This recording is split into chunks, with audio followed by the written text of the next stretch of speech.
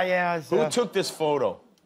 probably my mom. Yeah. Well, one thing I thought about was, you know, once I was clear enough, this is still while I was on the ground before the, the ambulance even got there. there, is like what my experience was like. But then I had to think about Alex's, because Alex was there during the entire time and he had to Your see his Uncle yeah. Jeremy on the ground.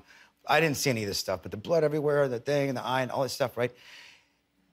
I had to consider what his perspective was. And Right. then that kept happening with everyone's perspective throughout this entire ordeal. And to, and it's pretty harrowing to take the time to really consider somebody else's perspective. First of all, it's, it's, it's thoughtful, and, and but it's. Yeah.